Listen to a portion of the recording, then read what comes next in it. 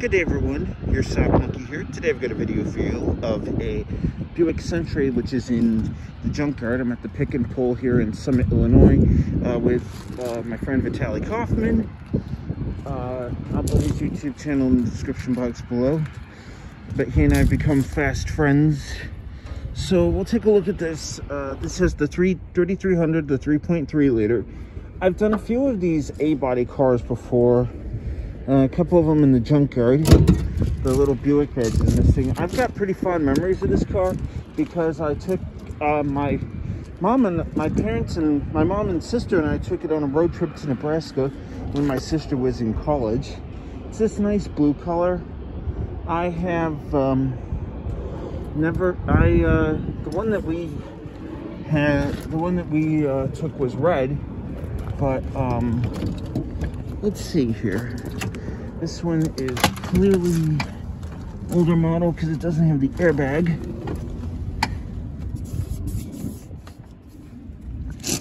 Oh, Let's see if it scopes on it here.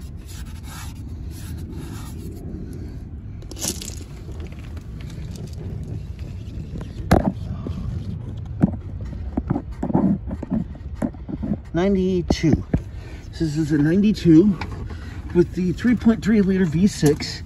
Door card's been pulled on it. As you can see, the retractor for the seat belts in here.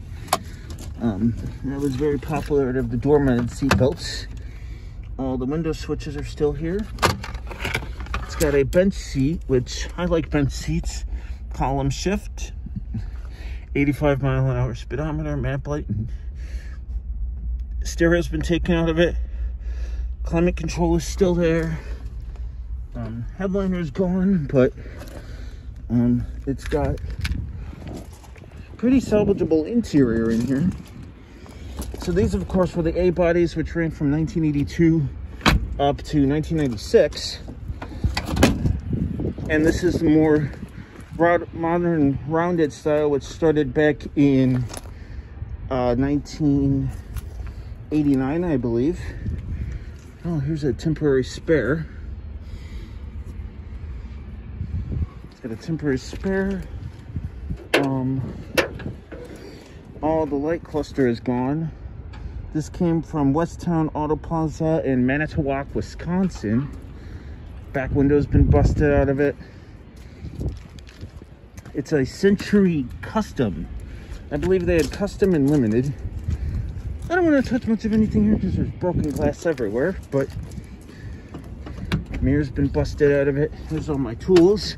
And there's Vitaly. Hello, my first catch of the day. Yay. Awesome. So, and then someone smashed the windshield or maybe it came in smashed. I don't know. Uh, but like I said, this has got the 3.3 liter. So that's pretty much it, guys, for this one. Uh, there's going to be more at this junkyard. So thank you for watching.